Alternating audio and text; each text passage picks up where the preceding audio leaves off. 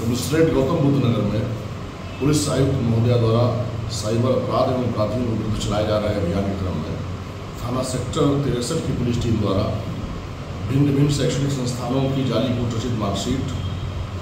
Degree एवं अन्य शैक्षणिक संस्थानों और विविध प्रमाण पत्रों को बनाने वाले गैंग के तीन महत्वपूर्ण सदस्यों को गिरफ़्तार किए जाने में सफलता प्राप्त की गई है। ये तीनों अभियुक्त थानचंद शर्मा पुष्पेंद्र यादव एवं गोविंद अग्रवाल मूलतः गौतम बुद्ध नगर के ही निवासी हैं। इनमें से एक अभियुक्त जो गोविंद अग्रवाल है इसको वर्ष 2021 में यू यूपीएसटीएफ की लखनऊ इकाई द्वारा ऐसे ही अपराध में गिरफ़्तार करके अनाचिनहट लखनऊ से जेल भेजा जा चुका है। इनके कब्जे से कुल 30 फर्जी मार्कशीट, तेईस फर्जी माइग्रेशन सर्टिफिकेट,